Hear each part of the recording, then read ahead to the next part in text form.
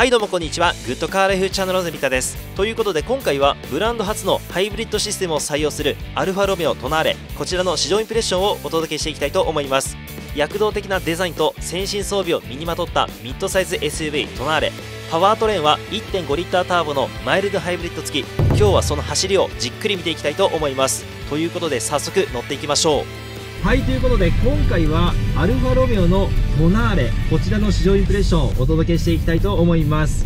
アルファロメオ初でございますこのチャンネル。非常にワクワクしてますしまあここから兄貴分のステルヴィオそしてジュリアですよね。この辺にまた試乗させてもらおうかなと思いますけどもひとまずこの第3弾の刺客として日本上陸しましたトナーレ乗っていきたいと思います。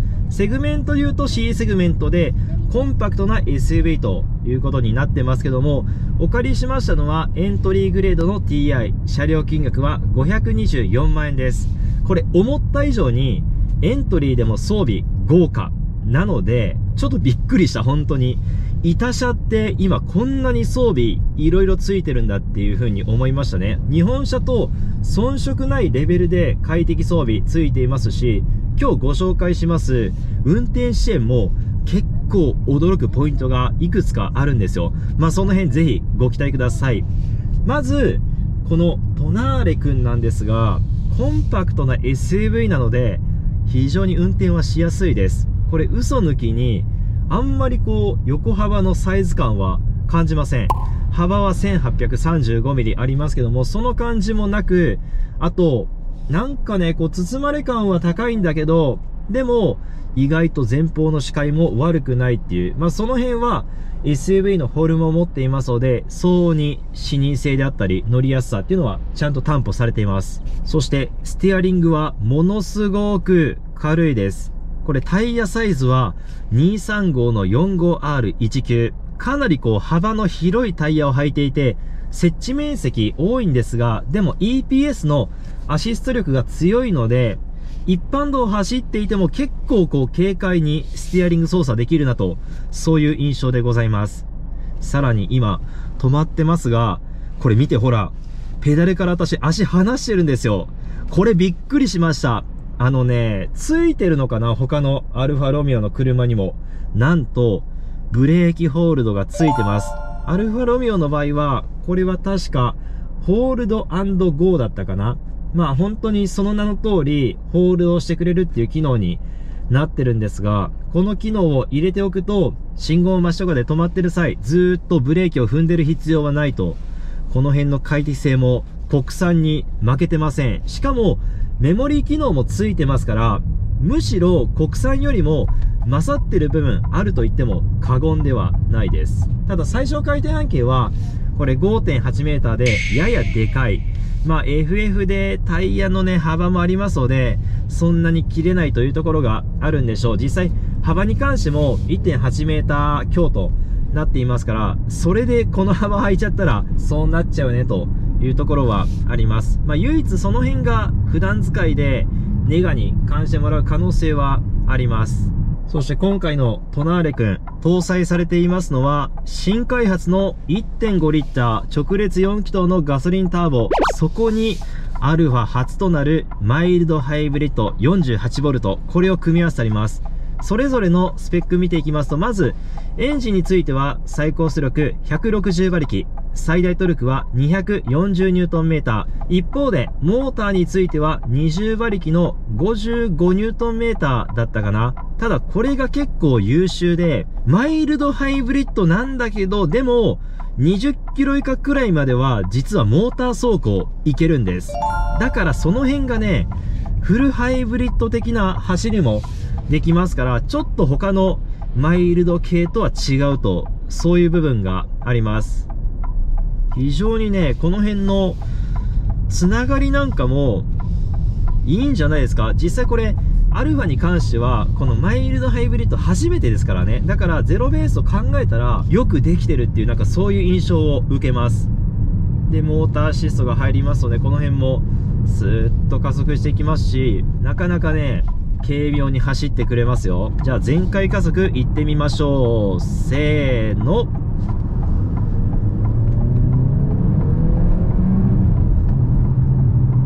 うーん。前回はなかなか速い。もう一回いきますよ。せーの。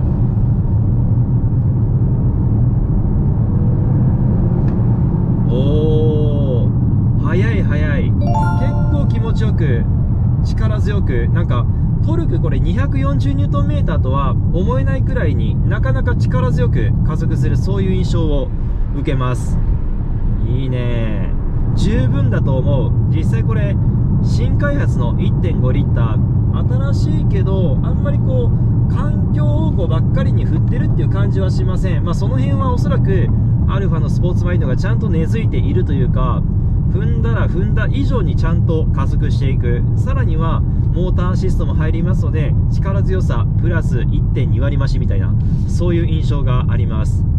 静粛性ねこれについてはうーんちょっとタイヤノイズでかいかな。やっぱ幅が太いのでそこでこのパターンノイズは割と室内に入ってくる。装着タイヤこれブリヂストンのトランザ履いていますからめちゃめちゃスポーティーなタイヤではない。むしろエコ寄りのタイヤではあるんです。それでも結構パターンノイズが目立つということはおそらくその幅の影響かなと。ちょっと舗装路が綺麗になってくるとさーっていうよりこう高周波な音に変わりますからまあ道次第ではあるんですけどでもこのパターンノイズが小さいというふうには言えないかなと思いますいい加速だね。いい加速そしてこれアルファロメオ共通かな？エンジンサウンドいいね。直列4気筒なんだけどすごくこう高揚感のあるそういうサウンドになってます。ノイズじゃないね。これはちゃんとサウンドと言ってもいいでしょう。もう一回いきます。6000まで回る。ほら高回転の音も素晴らしく気持ちがいいです。これは回したくなるねこの音は。気持ちいい気持ちいい。非常にいい音。で巡航中はこれ今70とかで走ってますけどもだいたい回転数はあアイドリングストップしちゃった。そうだからマイルドハイブリッドですからこれアクセルをオフにしたり今軽く踏んでますけども非常に低負荷の状態ですからエンジンオフ。だからモーターの力だけで今下ってるということになります。でも実際70くらいで巡航してるとエンジンの回転数は約1500回転ほどとなってますのでその辺でもエンジンノイズは目立っていません。まあだからこのパターンノイズですよね。これが目立つかなというところ。でもこうアクセルをオフにするとコースティングといってガセ走行する。しかもこの下ってるエネルギーは電気エネルギーに変換されるんです。なので今充電されてますけども徐々にこう増えてきましてさっきまでほぼ空っぽだったのに今だいたいもう60から70%くらいまでこれでチャージされました。でまたアクセルを踏んでいくとエンジンが始動しますけどもここのねショックはこう巡航中に60とか70でアイスとかかって復帰みたいなこの辺は振動ありません。というのもこれ BSG ベルトスタータージェネレーターこれが入っていますのでだからスムースに再発進するということになってますけどもこの辺のフィーリングはすごくいいですし嫌なショックであったりそういう部分は感じません。そしてちょっと高速終わっちゃうと嫌なので運転支援を先にご紹介しておきますがこれこちらにスイッチついてますよね。ハンドルのマークを押してもらうとこれでセット完了になりましてであとはセット方向にトグルを下げてもらう。これで完了になるわけです。で運転支援の表示に変えておきますけどもこんな感じね。ちょっと速度を上げていきましょうか。60にセットをしておきます。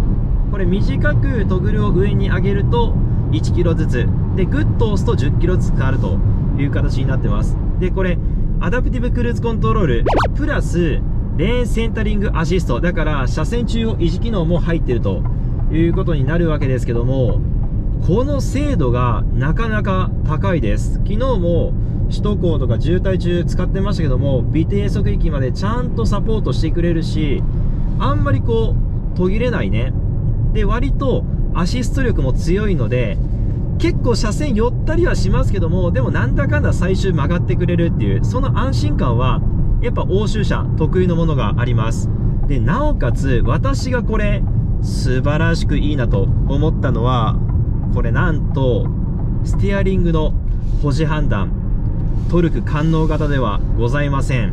なんとですよ、なんとなんと、驚きのタッチセンサーです。だから、指軽く触れてる状態で、これでもう、ドライバーがハンドル握ってるよねって判断をしてくれるわけです。まさかの機能でした。今回 ADAS とかも、アルファの中でまた刷新されたわけですけども、いわゆる次のフェーズありますよね。今、レベル2の半自動運転、まあ、運転支援システムと呼んだ方が適切ですが、そこから1つ上のレベル3に向かってどう進化をしていくか、そういう過程にある中で、アルファもついにこのタッチセンサーを採用して、1つフェーズが進んだというところです。だからなんか、このブランドでも、ちゃんと自動運転のなんか未来が見えたような、そういう気がします。で、あと、標識ありますよね。それを認識して自動的に車速をアジャストするインテリジェントスピードコントロールだったかな。その辺の機能もついていますし、ブラインドスポットアシストに関してもアクティブタイプですから、ステアリングの反力を出して衝突被害を軽減する、そういう機能も搭載されています。じゃあ、運転支援を切りましょう。このアルファ本来の楽しみはおそらくこれじゃないので、一旦キャンセルをさせていただきまして、ハンドリングとかを見ていただきましょうか。これね、驚くハンドリングありますよ。私もこれ乗ってびっくりしました。車線変更しますね。この動き、やばないこれ。ものすごくクイックに車が動く。一言で言うならば、SUV の概念を壊してる。この動きのシャープさよ。あと、スティアリングのギア比、これなんとトップクラスの13.6対1になっていますので、超クイックなこの列車がある。だから、この気持ちいいハンドリングがあるわけだし、すっごいこの俊敏性、ほんと SUV じゃないね。スポーツハッチに乗ってるかと思うくらいにロールもないし、スッと車線変更を行っていく。めちゃめちゃ気持ちがいいです。これは最高だねっていう、やっぱ、アルファはそういうスポーツマインドを持ち合わせるとは聞いていましたけども、実際乗ってみると、この SUV でも、それは感じます。本当 SUV の S、スポーツの名にふさわしい、そういうハンドリングがありますしかもこれサスペンションはフロントもリアもマクファーソンのスラット式そこもまた一つアルファの特徴かと思いますけどもリアストラットってなかなか見かけませんよね。そこでもおそらくジオメトリーとかも適切に組んでこの俊敏な走りっていうのを出してるんだと思います。横方向のねこの動きが本当に気持ちいい。スッと動く。でも実際これ車両重量は1.6トン超えてます。1630キロもあるんです。それをまあ感じないね。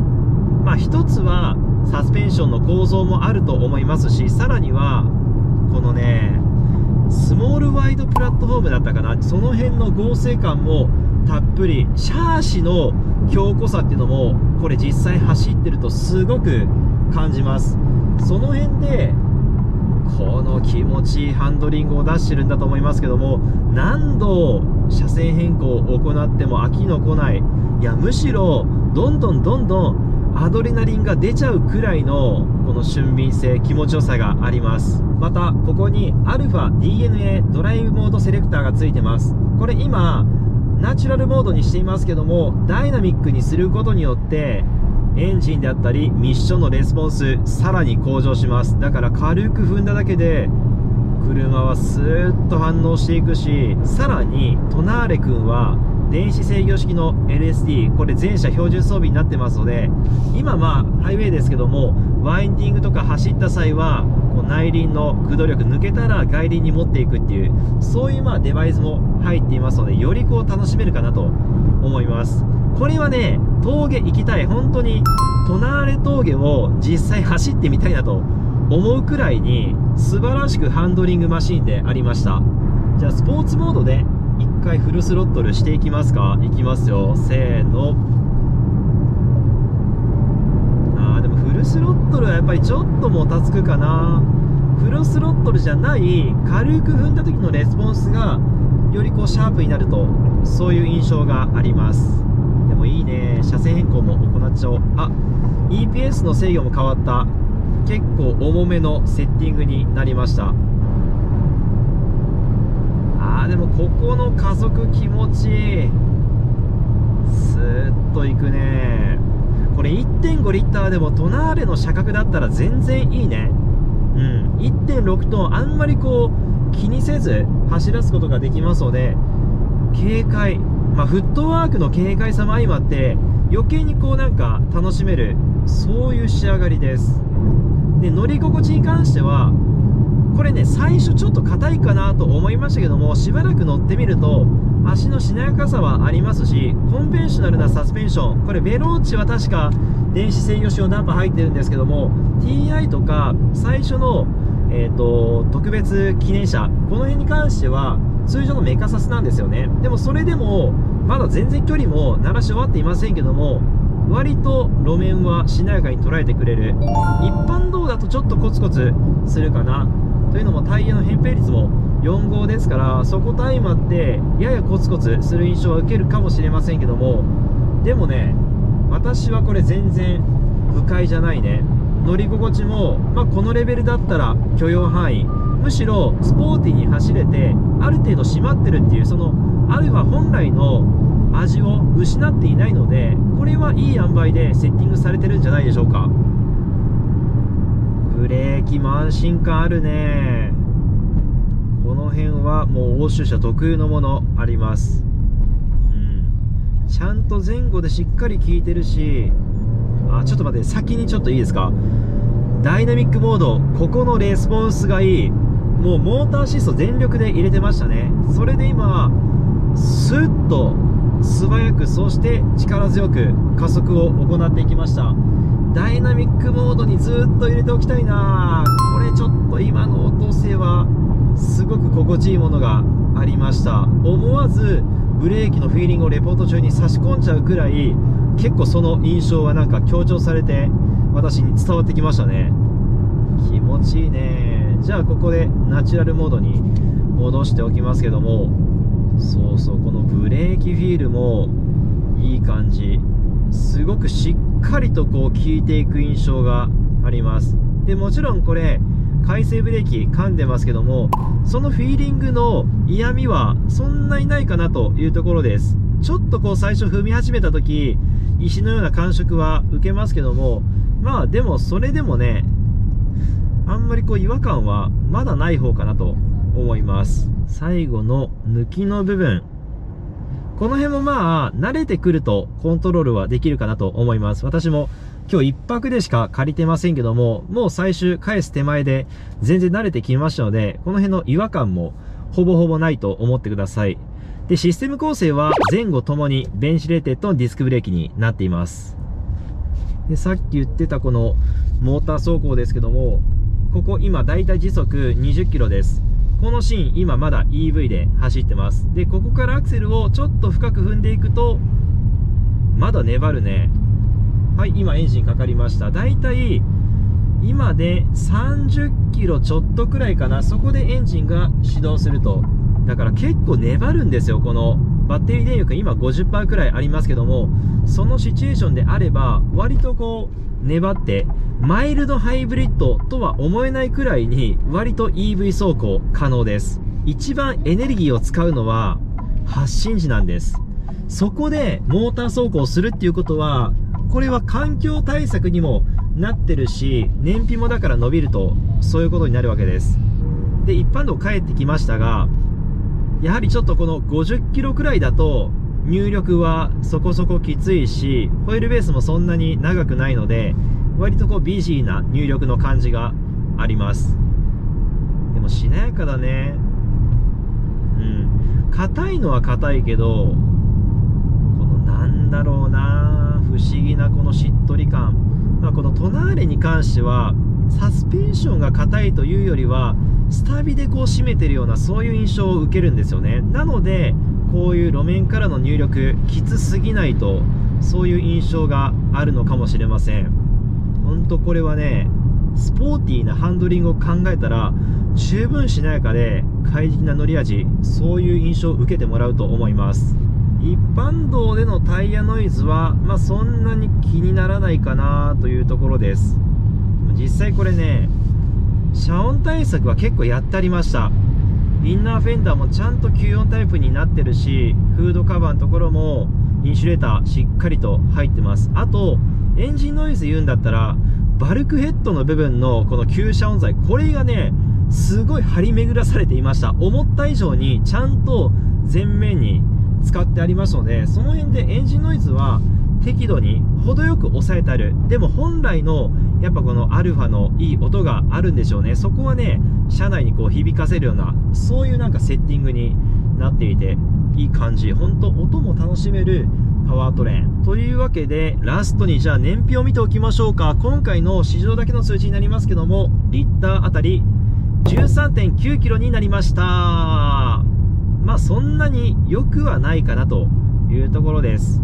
まあでもそれはね結構踏んじゃったからすいません。本当だったらあと2、3キロは絶対伸びてる。間違いなく伸びてる。でも燃費をなんか求めてアクセル踏むのをやめたくない。そういうだから走りがあるんです。なお、WLTC モードに関しては総合燃費で 16.7kg となってます。まあ、だからそもそもカタログ数値であってもマイルドハイブリッド構成して17弱となっていますから素晴らしくこのコンパクト SUV で燃費がいいとそういう感じではないです。ただその分面白い走りがありますよっていうここは私ね保証できます。素晴らしく気持ちがいいということで人生初めてかなアルファロメオ乗ってきましたけども初試乗インプレッションはトナーレになりました。これねまた乗りたい。ステルビオもそうだしあとジュリアの GTA とかありますよね。あの辺も後方車あったらこれぜひ借りて乗ってみたいなーっていうくらいにまずトナーレの印象素晴らしく良かったです。でこれ2月の中旬に発売となっています。おそらくデモカーもそのタイミングで入ってくるでしょうから皆さんもご興味ある方はぜひ乗ってみてください。というわけでアルファロメオとなれ試乗編は以上となります。気になった方はぜひお近くのディーラーで見積もり試乗などされてみてはいかがでしょうか。はいこの動画がいいねと思った方はチャンネル登録と高評価よろしくお願いします。気になるあの車は果たして買いなのか。それでは次回の動画でお会いしましょう。それじゃあまた。